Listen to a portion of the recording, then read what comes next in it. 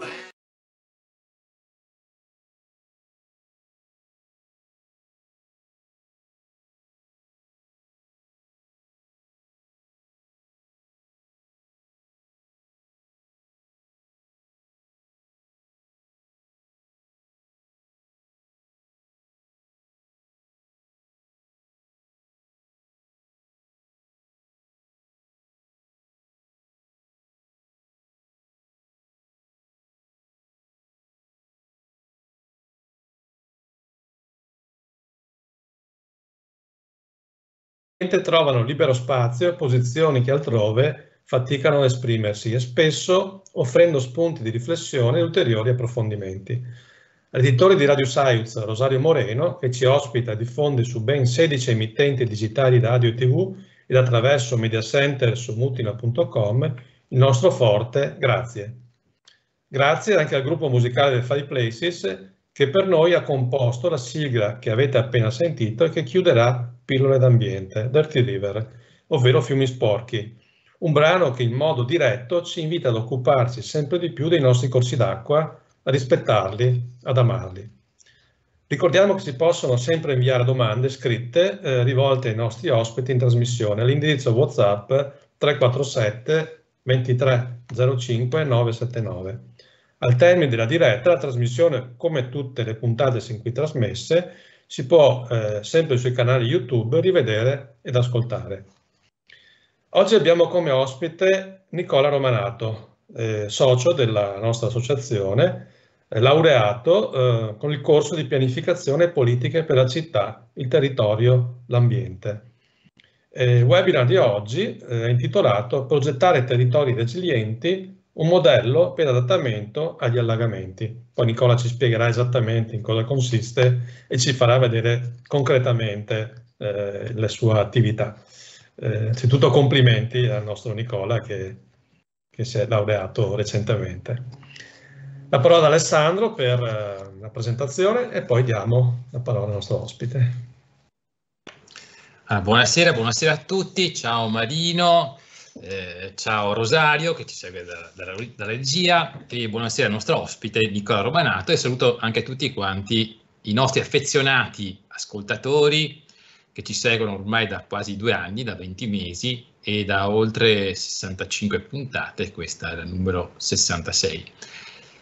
Sono felice naturalmente che abbiamo, che abbiamo ripreso ecco, le nostre pillole d'ambiente dopo questo periodo, questa vacanza dalle, diciamo, dalle festività natalizie e riprendiamo sempre fornendo ai nostri, eh, ai nostri ascoltatori, ai nostri affezionati telespettatori anche perché appunto possono vederci su Radio Science, eh, forniamo sempre degli argomenti interessanti e sempre finalizzati alla tutela dei fiumi e del territorio e naturalmente anche orientati in qualche modo alla divulgazione di una cultura democratica e anche antifascista, questa è una cosa importante da dire. Cioè, noi siamo qui per dire che possiamo fare, con le nostre competenze, possiamo partecipare alla gestione e alla tutela dei beni condivisi, dei beni collettivi.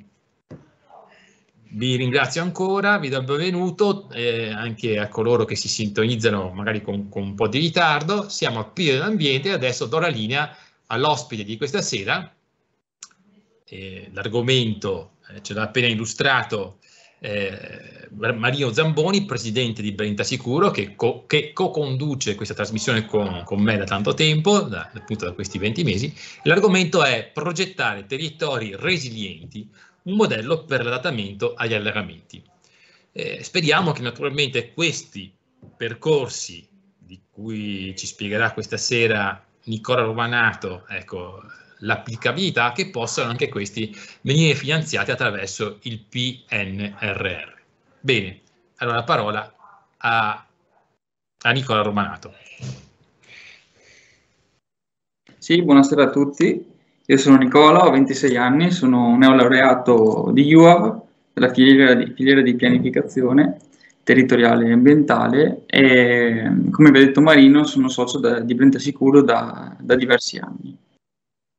Ora iniziamo la presentazione. Provate a darmi un feedback. Ok. Vedete? Perfetto. Ok.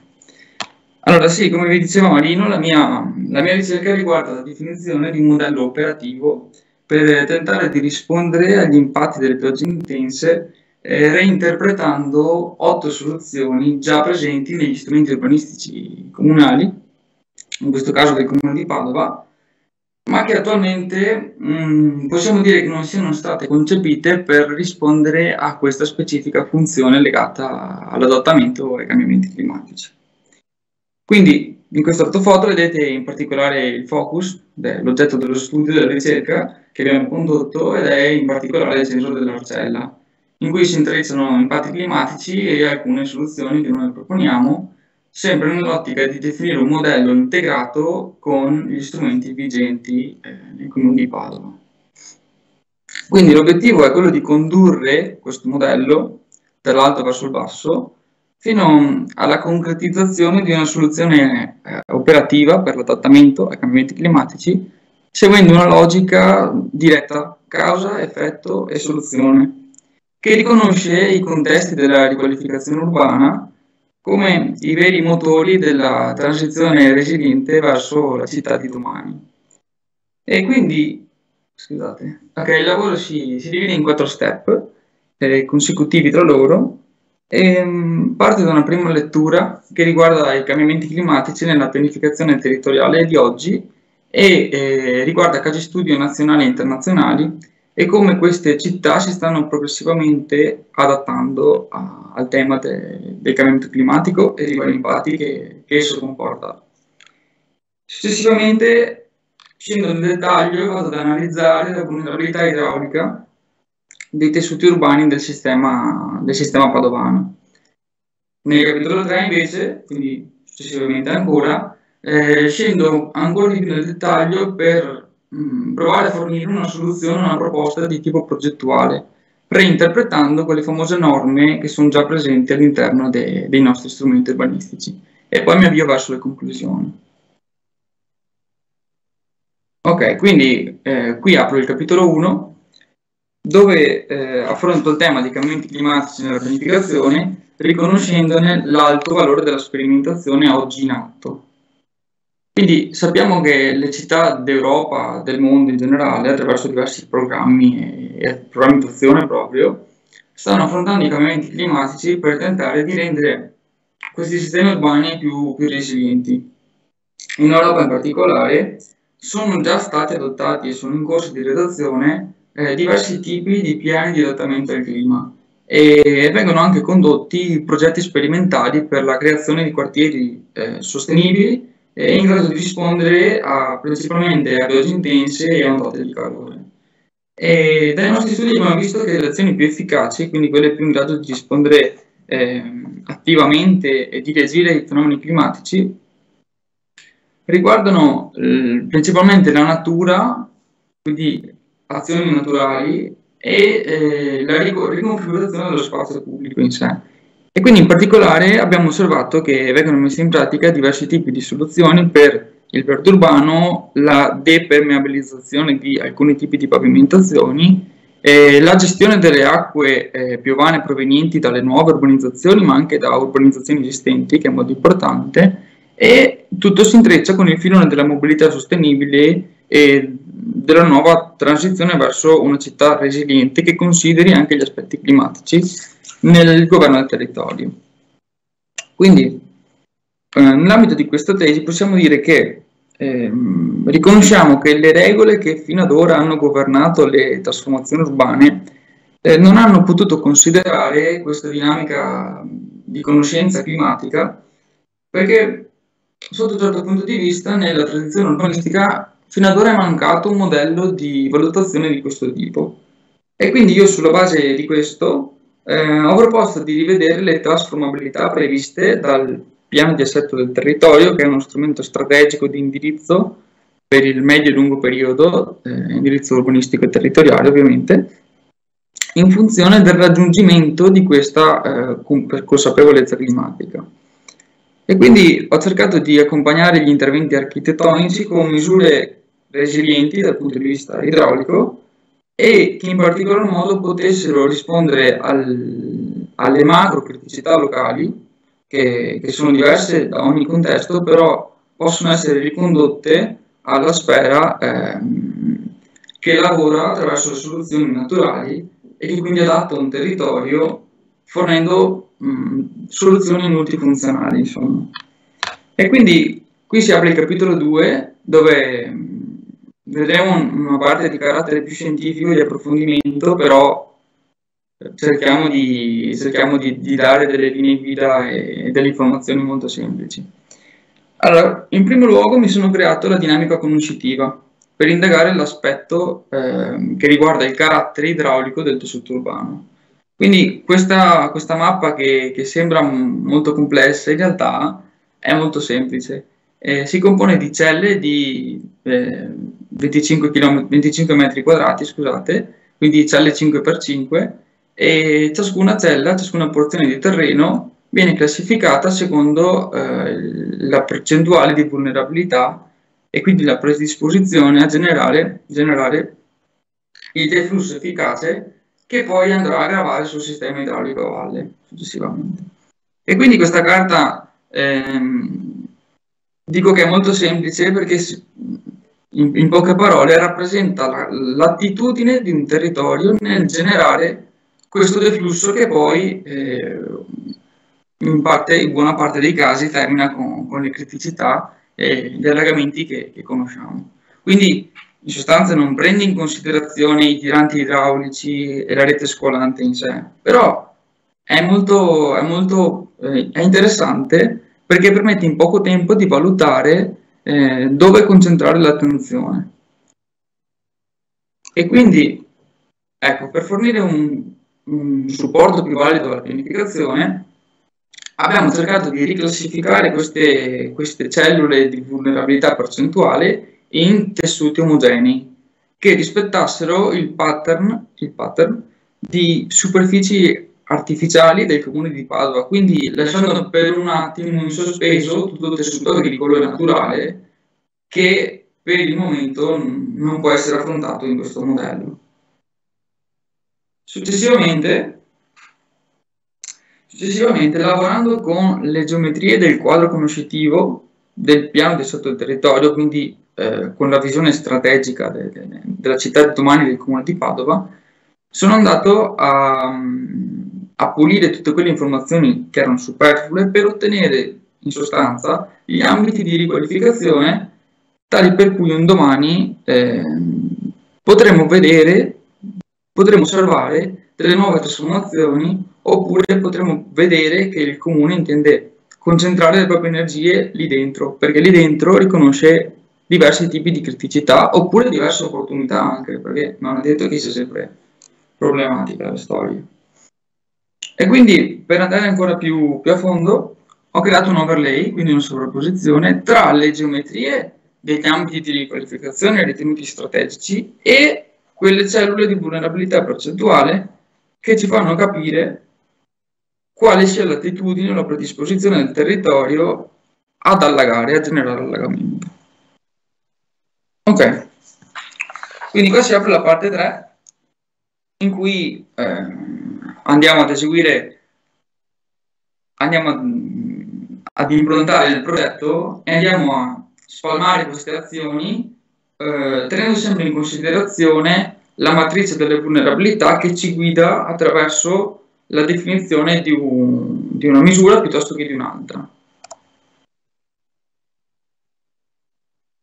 Ok, quindi per rispondere al problema degli allagamenti localizzati eh, mi sono concentrato su alcune aree, in particolare l'area numero 6 del quartiere Arcella che rappresenta il, cuore del quartiere quindi l'area che sta tra, tra la chiesa e lo stadio. Quindi mh, questo ho potuto farlo grazie al fatto che il comune intende dare una vera e propria nuova rivalutazione, rivalorizzazione a tutto il sistema del quartiere. Infatti lo scorso giugno, partecipando al programma innovativo per la qualità dell'abitare, promosso all'interno del PNRR, il comune ha ottenuto lo stanziamento di circa 15 milioni di euro per finanziare l'avvio e la progettazione di, di, un pacchetto completo di interventi che intendono ridare un nuovo volto al quartiere Arcella. E quindi all'interno di, di questo pacchetto di interventi il comune intende soprattutto lavorare dal punto di vista del retrofit e del recupero delle aree dismesse. Quindi si tratta anche di dare un nuovo volto proprio alla, alla città stessa, è una cosa molto interessante. E quindi all'interno di questo particolare contesto eh, ho cercato di comprendere quali siano i dispositivi idraulici presenti all'interno degli strumenti urbanistici ma che non sono stati pensati per essere eh, progettati in funzione dell'adattamento che dicevo che vanno a rendere eh, possibile questi, questi progetti senza andare a snaturare quella che è la natura stessa del quartiere. E quindi per fare questo, per poter intervenire a livello almeno progettuale, ho creato un modello che mi portasse a costruire un abaco dei dispositivi e delle misure che vedete sulla destra e che quindi riepilogasse tutte quelle eh, azioni che il comune racchiude nei propri strumenti senza identificarle come misure adattative, ma piuttosto magari favorendo eh, l'installazione di stalli di sosta drenanti all'interno di nuove riqualificazioni, di nuove urbanizzazioni. E poi ho accostato queste misure che vedete sulla destra con le macro criticità d'ambito che possono essere rilevate all'Arcella come in buona parte di altri quartieri di altre città, che più che meno. Comunque sono macro criticità che sono diffuse e che possono essere eh, non dico risolte, però comunque raggiunte in maniera positiva da questo tipo di misure che sono prevalentemente di tipo verde e di tipo naturale. Ok, inoltre per mh, mm, facilitare la, la comprensione e l'interazione con la governance interna del Comune di Padova, ho creato questo esploso in modo da vedere al centro l'avaco delle misure e sulla destra i settori comunali direttamente interessati o potenzialmente interessati a sviluppare questo tipo di, di soluzione e sulla sinistra gli strumenti di piano che eh, con un riferimento implicito, esplicito, diretto o indiretto comunque eh, orientano o suggeriscono l'impiego di questo tipo di sistemi.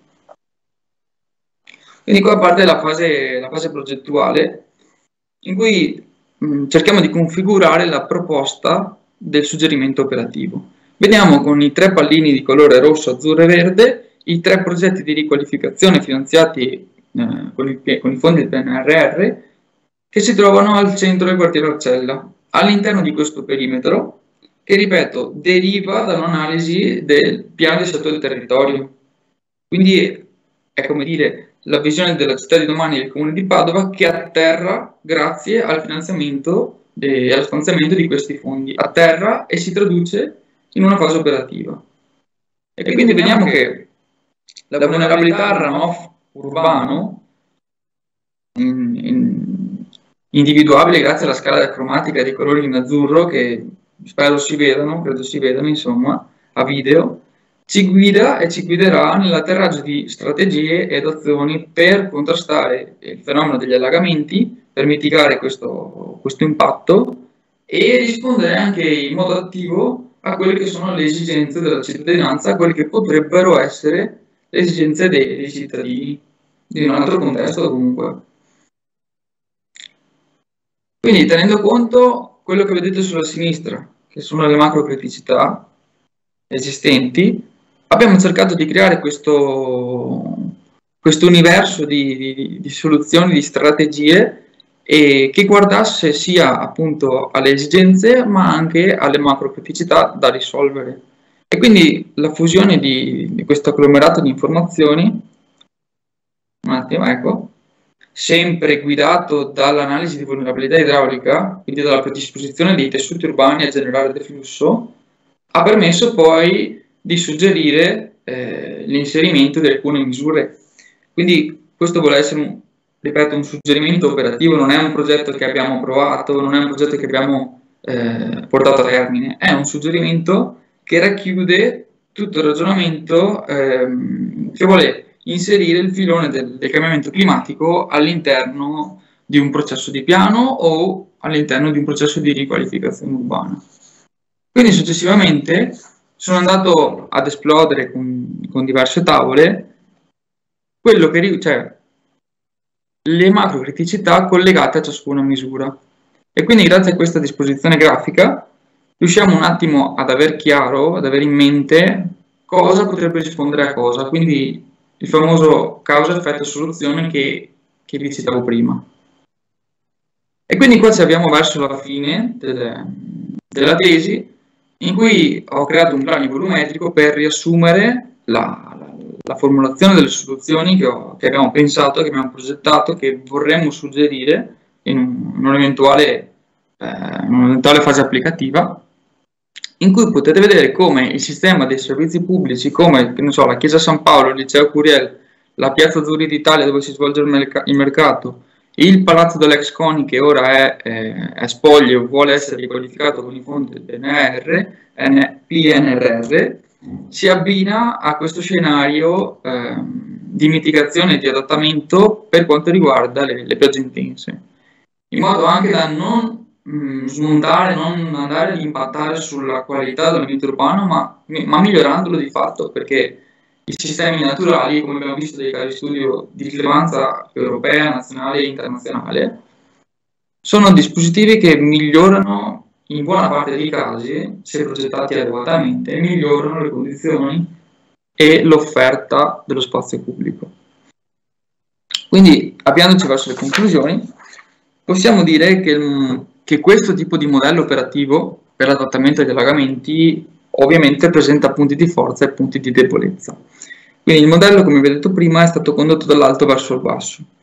E ovviamente come punti di forza presenta il costo limitato e la rapidità di esecuzione e soprattutto legata al vantaggio che è ben integrato con gli strumenti esistenti, nel senso che considera, considera esattamente le soluzioni che sono già state adottate dall'amministrazione e, e, e, secondo anche la visione della città di domani contenuta nel piano strategico.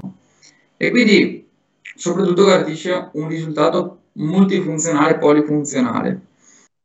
D'altro canto, come punto di debolezza, per quanto riguarda la pura progettazione idraulica del modello, eh, non siamo riusciti ancora ad integrare la portata della rete fognaria, la capacità di carico del reticolo idrografico e quindi non riusciamo ancora al momento a creare degli scenari eh, di vulnerabilità ex post.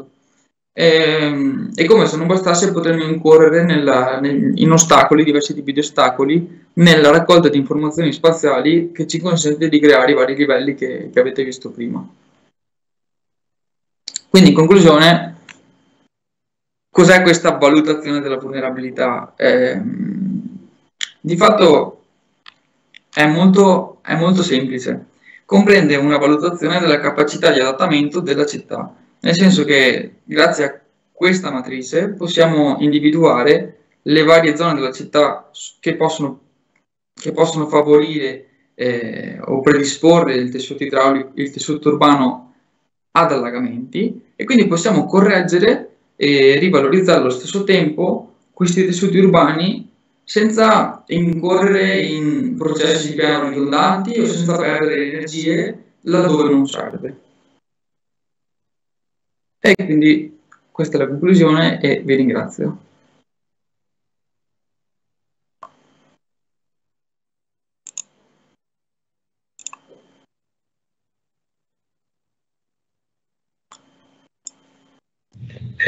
Beh, eh, tanti, veramente un'opera, un lavoro importante questo anche che ci dà il senso che la progettazione può essere anche positiva, eh, non solo che siamo abituati al concetto la, della costruzione che distrugge in qualche maniera l'ambiente e crea problemi di, di deflusso idrico. Qui invece abbiamo una progettazione che eh, parte dal presupposto eh, totalmente opposto, quindi veramente da profano dico complimenti, ecco, complimenti a quello che è stato fatto perché è veramente importante. So se Alessandro vuole da tecnico, da, da esperto molto più de, eh, aggiungere qualcosa, fare delle domande, integrazioni. Perché...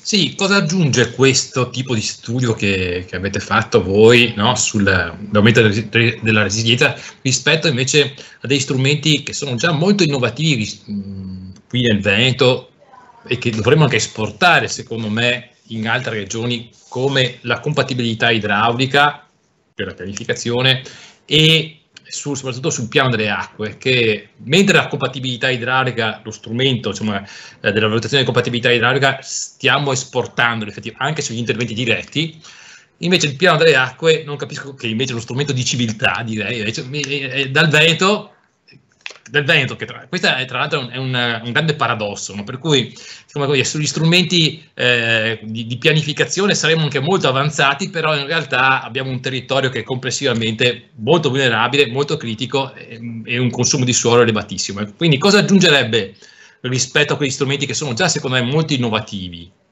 Sì, allora, cosa aggiunge? In realtà non si va ad aggiungere, ma si va a connettere a connettere quelle informazioni che spesso si, si avvicinano, si sfiorano, ma non si intersecano mai.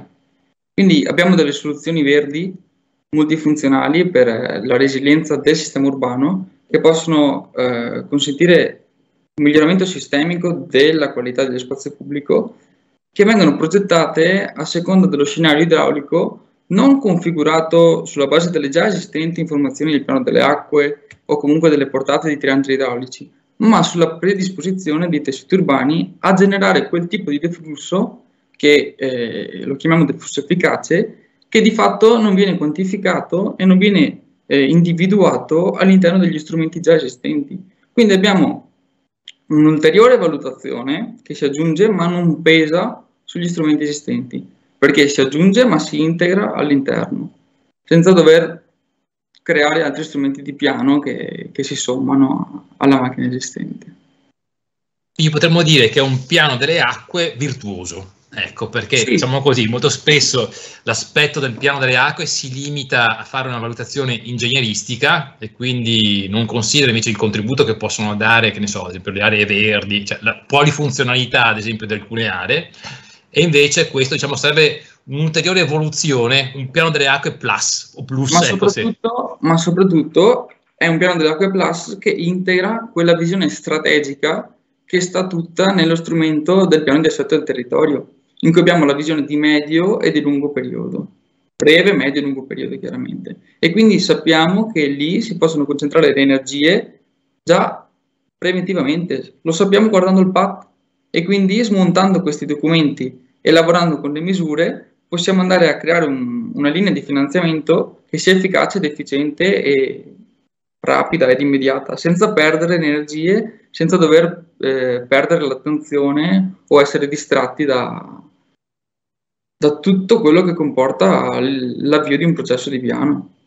Pensato Ecco, allora, quindi voi, supponiamo appunto che ci sia un comune, un'amministrazione comunale virtuosa, voi intendo io sono ingegnere idraulico e ambientale, sì. ecco, quindi mi rivolgo al pianificatore che adesso propone, quindi si trova davanti eh, uno, uno, una pianificazione, quindi c'è un'amministrazione comunale, stiamo parlando di Padova, ma in generale, che ha già il proprio PAT, il piano degli interventi, la valutazione di compatibilità idraulica e anche ha il piano delle acque. Sì. Tutti questi strumenti hanno un costo, ecco, sì come intendereste rivolgervi alle amministrazioni comunali che vogliono praticamente anche migliorare ulteriormente il coordinamento tra questi processi? Quale potrebbe essere, il, se si può parlare in questi anche il costo naturalmente di, di, investimento e quali sono appunto i benefici? Su, abbiamo capito, mi sembra di capire che eh, in qualche modo c'è anche la possibilità di ottenere i finanziamenti attraverso il PNRR, mi sembra di capire. Qui, ad esempio, supponiamo ad esempio che, adesso parliamo eh, per una media no, eh, cittadina, ecco, no? potrebbe dire il costo ecco, da investire per la pianificazione eh, un nuovo PAT ecco, costa 100, mettiamo 100, mettiamo 100.000, ecco per 100, diciamo così. Allora, il piano delle acque costa mm, tot, mettiamo 10-15, ecco. cosa, cosa, costerebbe e sono finanziati in più diciamo, eh, appunto dal PNRR questo vostro ulteriore contributo? Allora, eh, nell'ambito di questa tesi il nostro contributo non è finanziato dal PNRR, ma la nostra tesi si aggancia a quelle che sono le risorse già stanziate. Quindi abbiamo un modello di intervento finanziato dal PNRR, come nel caso degli edifici dismessi del centro dell'Arcella, che hanno già, eh, per vincere dei fondi, chiaramente hanno già eh, passato la fase di progettazione, no? ma che al momento ci siamo accorti che poter rendere eh, resiliente l'intero complesso, l'intero quartiere, l'intero organico, attraverso questi, questo tipo di soluzioni che poi per essere finanziate necessitano di una, di una progettazione più approfondita anche grazie agli ingegneri, chiaramente, diciamo che possono rendere resilienti l'intero, eh, l'intero comparto organico urbano, no? E quindi automaticamente diventa un supporto alla progettazione. Noi non abbiamo la chiave dei tiranti idraulici o delle piogge efficaci, dei coefficienti per la progettazione di quel determinato intervento del, dello stato di sosta dell'ante, per esempio. Però sappiamo che favorire la predisposizione lungo tutto il tessuto urbano di una, di una serie sistemica di interventi può aiutare sotto diversi punti di vista. Quali sono le varie macro-criticità? Per esempio, una piazza, la piazza, mi viene in mente la piazza Azzurri d'Italia dell'Arcella, che ospita il mercato rionale settimanale se viene allagata cosa succede? Succede un problema che il mercato non si può più fare oppure viene messo in pericolo la vita degli abitanti. Quindi una valutazione di predisposizione dell'intero intorno può consentire di andare a risolvere quei punti critici che sono anche dei luoghi di aggregazione per la comunità, cosa che il piano delle acque, grazie alla sua spiccata caratteristica eh, di essere pensato ad hoc per, per il sistema idraulico, grazie ai, ai calcoli di ingegneria, eh, non considera. Bene, ma adesso eh, mi, mi, mi, dispiace diciamo, continuare a insistere su questo tema qui, ma supponiamo che eh, come dire, faccio leva sull'aspetto imprenditoriale della cosa anche, no? Cioè vi dico, beh, naturalmente c'è una finalità che è etica, virtuosa, naturalmente siamo tutti quanti impegnati in questo processo di transizione eh, ecologica, che prima deve essere una transizione eh, diciamo, sociale, transizione etica, ma naturalmente eh, ci sono degli amministratori, mettiamo che ci siano degli amministratori interessati all'ascolto in questo momento, eh, amministratori locali, e, e, non stiamo parlando magari di Padova, ma stiamo parlando di altre piccole cittadine, il nostro territorio, no? eh, centinaia di comuni, e qualcuno volesse investire, no? diciamo così, qualche soldino per migliorare la resilienza del proprio territorio. Insomma, parliamo magari anche di medie città, mettiamo qui Porto Ruaro, che ne so, San Donà, Conegliano, ecco. Eh, come vi proponete agli amministratori comunali e dove si dovrebbero cercare i finanziamenti per fare questi interventi sistemici? Ecco, diciamo, andate lì, hanno tutto, Conegliano, mettiamo il caso, ha già il PAT, ha il piano delle acque, la valutazione di compatibilità idraulica, eccetera. Allora, cosa proponete no, per fare questi interventi sistemici e come finanziarli? Perché bisogna naturalmente avere le risorse per finanziarli? Certo, questa è un'ottima domanda. È un'ottima domanda e data la complessità del tema io direi che si tratta proprio di avviare un processo di piano di adattamento, probabilmente nell'ambito del piano di azione per l'energia sostenibile e il clima, il PAESC. È un, questa è una questione più profonda che comprende diversi aspetti e diversi impatti climatici. La mia tesi, in questo caso la nostra tesi, il nostro lavoro, si soffermava più su un sistema di, di supporto alla progettazione e l'atterraggio di questi fondi. Quindi non si tratta di fare un piano per noi, per noi si tratta di creare questo modello idraulico che possa suggerire l'inserimento di questo tipo di soluzioni. Se poi si tratta di, di creare un, modello di città resiliente sotto più punti di vista, che ne so, sotto il punto di vista del, boh, anche dell'ondata di calore, no? Perché non è un aspetto irrilevante, allora lì bisogna intervenire con uno strumento più olistico che consideri più aspetti e che può essere finanziato grazie al, ai fondi europei del Covenant of Mayors. E quindi diciamo che è tutto un altro filone perché è più complesso, è più, è più profondo e perché considera più aspetti legati al cambiamento climatico. Ma se ci volessimo limitare all'aspetto idraulico, ad esempio, parlo di Conegliano, non so per quale motivo, ma fatto sta perché ho anche lavorato tra l'altro a Conegliano per un certo periodo e, e mi ricordo di un aspetto, diciamo, sai, divertente, che un giorno avevo lasciato l'auto in un parcheggio eh, la mattina e sono tornato il pomeriggio e l'acqua era piena d'acqua perché evidentemente anche lì avevano avuto problemi no? diciamo, non, mi sono, non, me ne sono accorto ma chiaramente insomma la, si è lagato il parcheggio e, e quindi l'auto, l'auto, nuova anche si era riempita d'acqua ecco lì appunto allora se ci rimettiamo l'aspetto dell'analisi e lì hanno tutto come vi rivolgete all'amministratore locale diciamo, interessato a questo tema qui cosa, cosa possiamo proporgli? Mm, noi come pianificatori non possiamo dimensionare il costo dell'opera. No, però gli interventi sistemici, cioè come, come, vi proporreste a queste, cioè come, come potremmo rendere più operative no? questo aspetto della vostra proposta che comunque rimane per adesso relegato in un ambito eh, come dire, ancora astratto e teorico? Come possiamo rendere operative queste proposte qui? Beh, allora intanto valutiamo il contesto di applicazione, la zona di destinazione d'uso, se si tratta di un centro storico, se si tratta di un tessuto urbano misto, una zona industriale e quindi a seconda del contesto del, dello spazio urbano presente possiamo adottare diversi, diversi tipi di soluzioni. Noi non abbiamo ancora avanzato una proposta ad nessuna amministrazione, è tutta una fase ancora progettuale, non si sa se andrà avanti, non lo sappiamo quanto ci verrà a costare.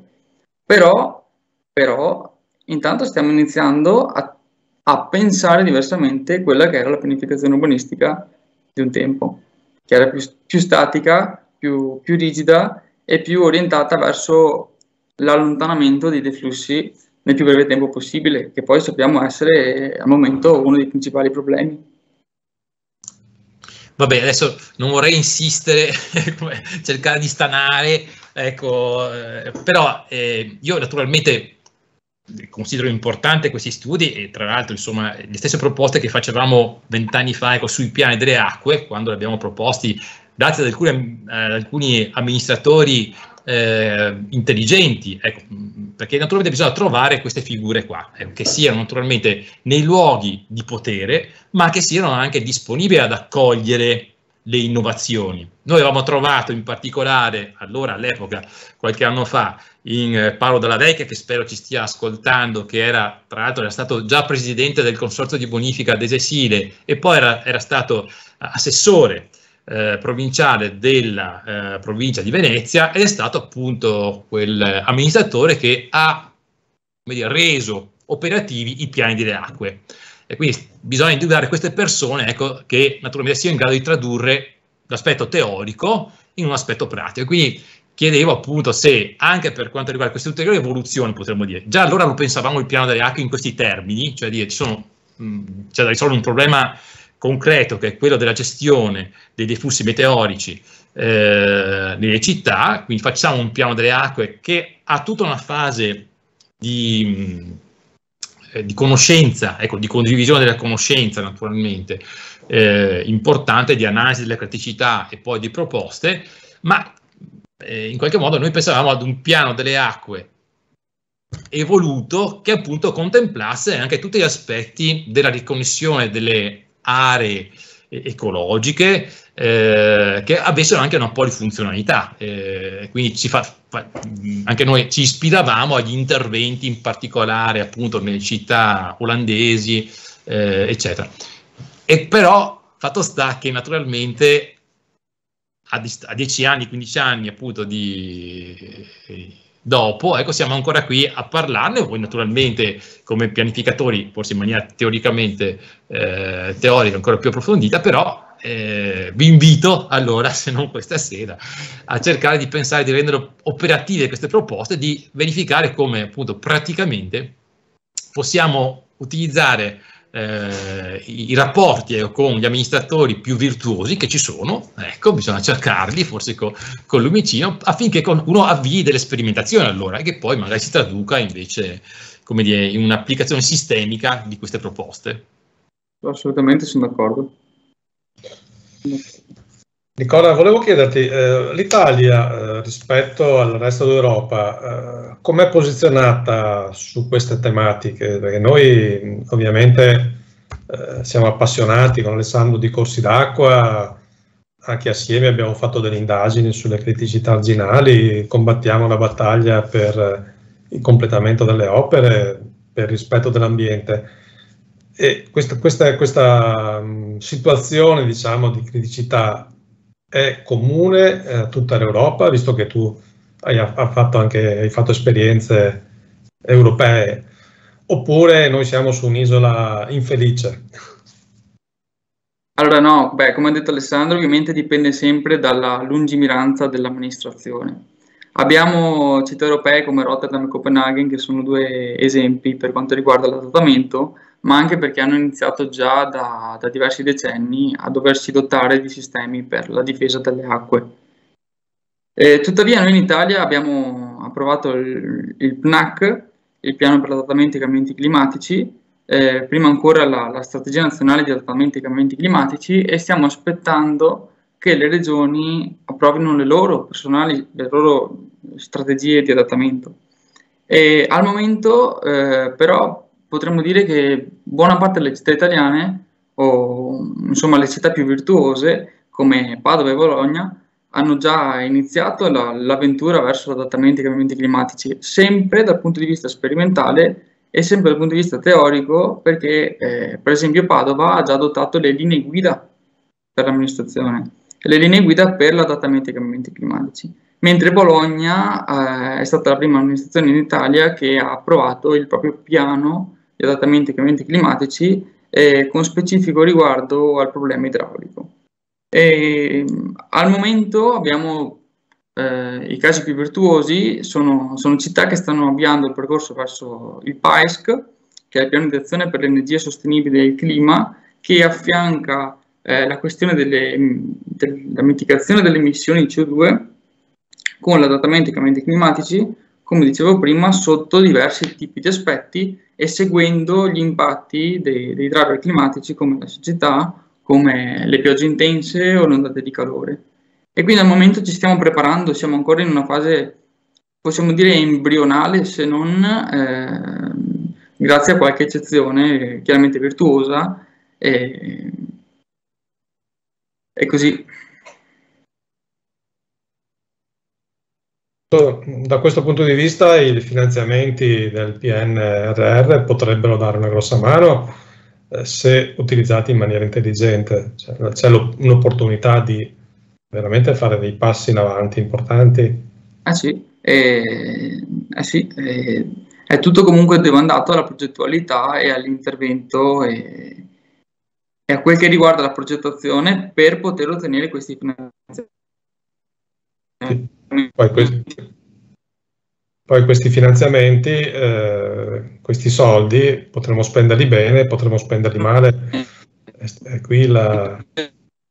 adesso ti sentiamo abbastanza a scatti. Se vuoi disattivare il video, probabilmente... Eh, la...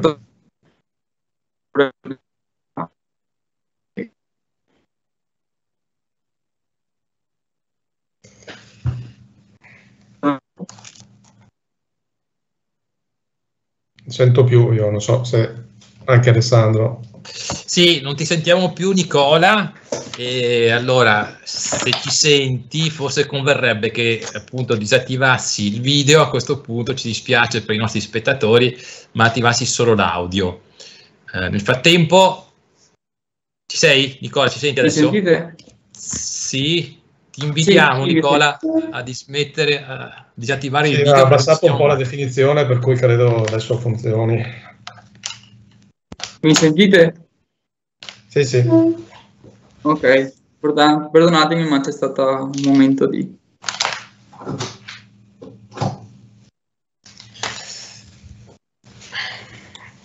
Bene.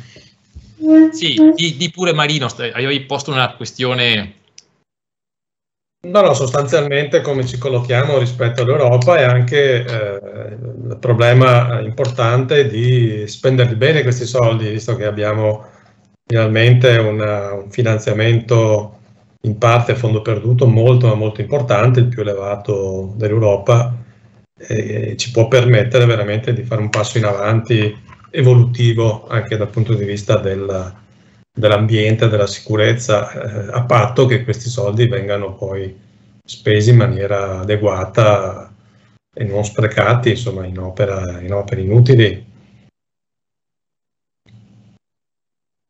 Non so se Nicola ci sente adesso. Eh, ho perso, purtroppo, ho perso buona parte della domanda. No, no, non è una domanda, è una constatazione sul fatto che il finanziamento PNR è un finanziamento in parte a fondo perduto e eh, sarà utilissimo, eh, è una, una, una, somma importante, a patto che riusciamo a spendere in maniera impor- importante e adeguata questi, questi soldi che ci vengono concessi nella fiducia altrimenti sarà un ennesimo spreco. Ecco, questo è il senso della, della constatazione più che domanda. Insomma. Non so se Nicola ci ha sentito. Sì, sì, ho sentito, ho sentito. Eh, beh, contesti nella fiducia, in realtà quando andiamo ad affrontare una fase progettuale eh, per, per, la domanda dei fondi abbiamo già un pacchetto solido in mano, quindi eh, bisogna stimolare, stimolare e trovare il modo per per rendere efficaci questi, questi soldi, altrimenti andrebbero persi. Assolutamente sì, che è un'opportunità storica questa, è un momento difficile, ma veramente un'opportunità che ci è stata concessa e che probabilmente non avremo più in futuro. E invece la, la situazione della situazione rischio idraulico dei nostri territori è qualcosa da dire, visto che insomma, abbiamo fatto assieme, svolto assieme delle indagini che dicevo prima sulle criticità arginali, sul completamento dell'idrovia.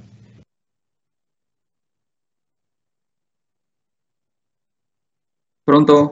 Sì, sì, da questo punto di vista hai qualcosa da, da, da dire, da aggiungere, che sono argomentazioni importanti, insomma, andiamo a toccare altre aree, magari parzialmente Padova e anche al di fuori di Padova su, sui sistemi Brenta e Bacchiglione in particolare. Hai sentito? No, no, no non, non, riesco a sentire. Pronto? Mm. Sì, sì, no, dicevo mm, che al di là del, del centro di Padova, che certamente eh, ha dei problemi che Nicola ci ha esposto, ci sono delle problematiche legate anche al sistema Brenta e Bacchiglione nel suo assieme, quindi partendo dalla, dalla, da, da, Vicenza e arrivando fino, fino, ai nostri territori, fino al mare. E quindi è giusto segnalare che i problemi di questo tipo ci sono, permangono insomma, e vanno affrontati in maniera sistemica, sistematica. Quindi con le manutenzioni, con il completamento dell'idrovia sostanzialmente. Eh, purtroppo mi sa che il segnale a questo punto è degradato, con Nicola non riusciamo no. più a comunicare in maniera efficace. Vi sento a pezzi. Eh. Non capisco niente. Pronto? Sì, sì, sì. E, non so, proviamo magari per la chiusura mm, a richiamare, se la regia cortesemente, se, se Nicola stacca la linea, lo proviamo a richiamare, vediamo se il segnale è migliore. Proviamo se cortesemente Rosario può procedere. Bene, approfittiamo comunque di questo piccolo contrattempo sì. per ricordare che appunto siamo tornati a febbraio con pillole d'ambiente che andrà in onda adesso tutte le giovedì sera alle 18.15. Prego, prego Nicola, ti abbiamo di nuovo con noi. Ecco, buonasera.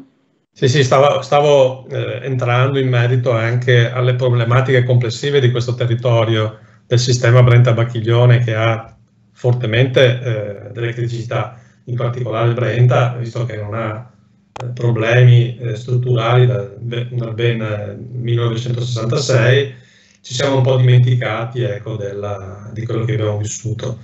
Eh, è pur vero che nell'ultimo periodo, in particolar modo dopo il 2010, c'è stato un cambiamento oggettivo di passo, eh, però permangono parecchie criticità, in particolare appunto sulla, sul Brenta mentre sul Bacchiglione, visto che nel 2010 ha avuto, ha avuto dei problemi, insomma si è intervenuti in maniera abbastanza sistemica.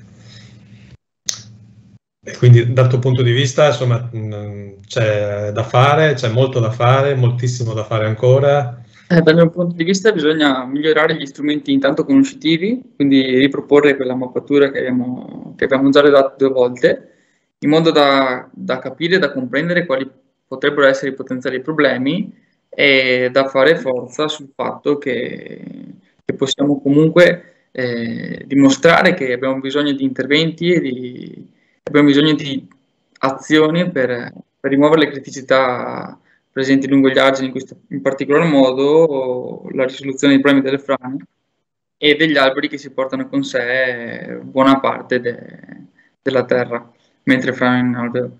E a maggior ragione bisogna per forza pensare a qualcosa perché grazie al tasso crescente di urbanizzazione abbiamo volumi d'acqua sempre più grandi e sappiamo che i trend climatici porteranno piogge sempre più intense, magari meno frequenti però sempre più intense e quindi vediamo che questo è un trend inarrestabile e dobbiamo per forza, per forza fare leva sulle criticità esistenti grazie agli strumenti conoscitivi come la mappatura che abbiamo già fatto. Eh, Nicola, tu cosa pensi della, della presenza della vegetazione eh, nel, lungo le rive dei corsi d'acqua?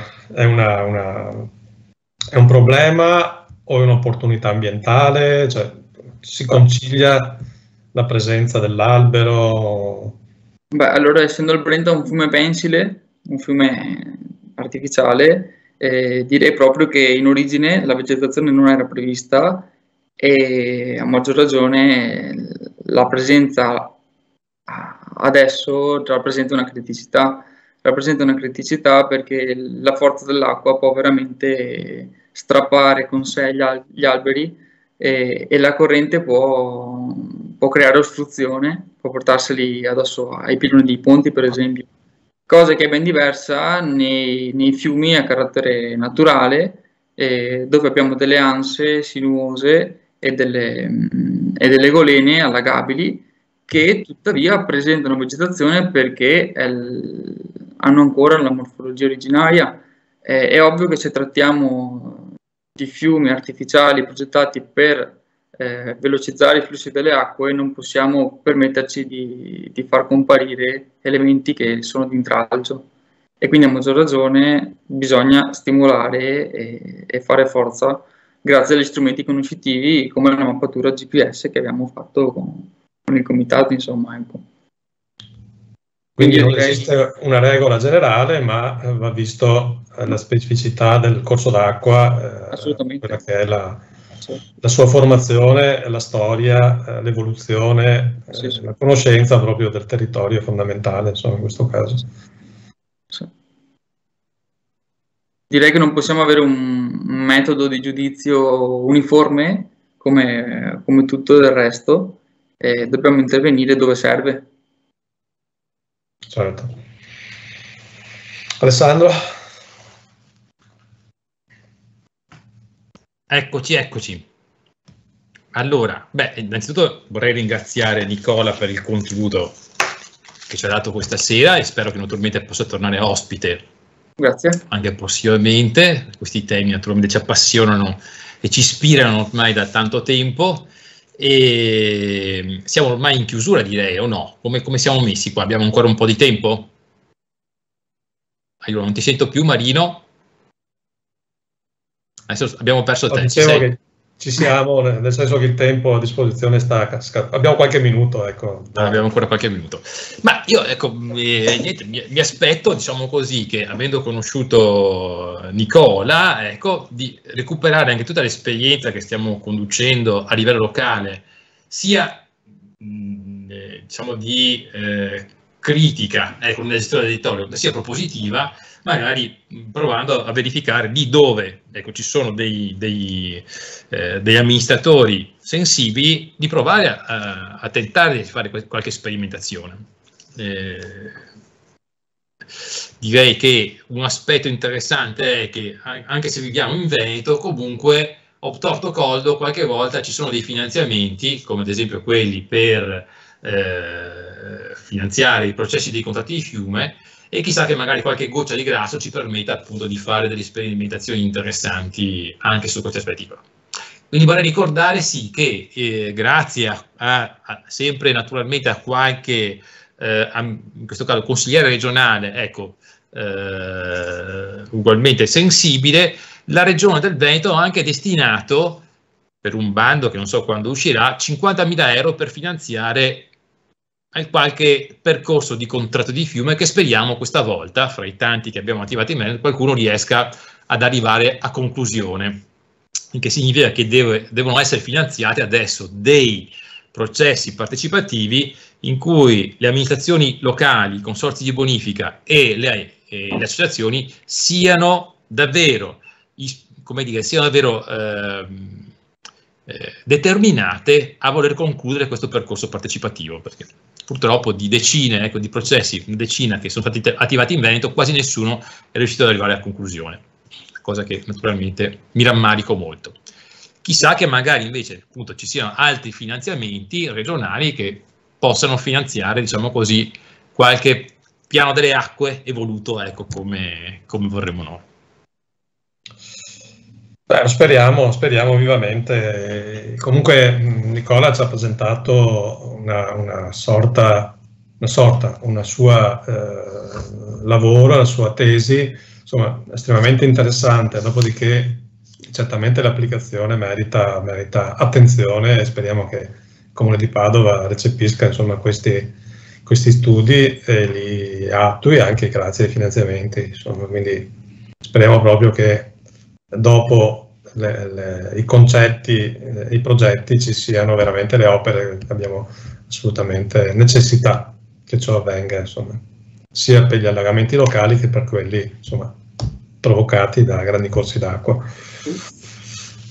Bene, io direi che è stato un, incontro molto interessante e con Nicola l'invito è sempre aperto al suo intervento, magari una prossima, prossima laurea, visto che è molto ambizioso e è sempre impegnato con lo studio, ma anche con il lavoro, quindi veramente si dice i giovani non hanno voglia di fare, ecco, Nicola è l'esempio esattamente opposto, quindi complimenti a Nicola, eh, complimenti che facciamo in privato, ma ci pare giusto siano fatti anche in pubblico, quindi grande, una grande persona. Bene, ehm, con questo ringraziamo appunto il nostro ospite, ringraziamo Radio Science e ci diamo appuntamento a giovedì prossimo, sempre alle 18.15 con pillole d'ambiente. Grazie, buona serata. Weaver